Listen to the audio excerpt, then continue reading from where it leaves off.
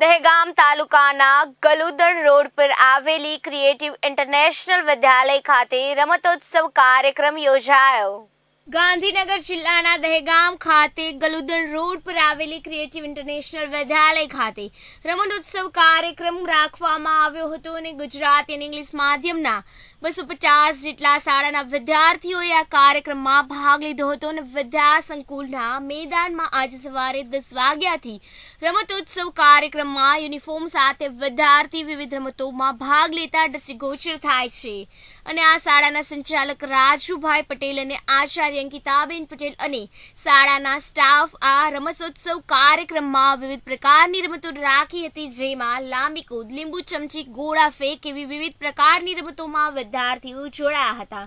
અને આ તમામ રમતોમાં પ્રથમ અને બીજા ક્રમે આવનાર વિદ્યાર્થીઓને ટ્રોફી આપી સન્માનિત કરવામાં આવ્યા હતા અને આજના કાર્યક્રમમાં વિદ્યાર્થીઓમાં ભારે ખુશી જોવા મળતી હતી અને આજે આ પ્રસંગે કેટલાક વિદ્યાર્થીઓ કોઈ ગમ અને કોઈ ખુશી જોવા મળી હતી. આમ આજે ક્રિએટિવ ઇન્ટરનેશનલ વિદ્યાલય ખાતે આ રમતોત્સવ કાર્યક્રમની ઉજવણી કરી તેમાં વિદ્યાર્થીઓને નવી પ્રેરણાઓ પ્રાપ્ત થવા પામી છે. કે ટીવી ન્યૂઝ ગુજરાતી સાથે અગરસિંહ ચૌહાણ, દહેગામ.